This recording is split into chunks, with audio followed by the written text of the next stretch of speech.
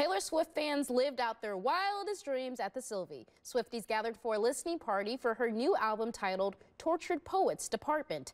Fans celebrated Swift's 11th studio album with treats, friendship bracelet making, an outfit contest, and poetry stations. Today's party brought out Swifties of all ages and shared why they came out to celebrate today's event. Because there's a lot of people that are Swifties and like to go to this stuff and meet other people.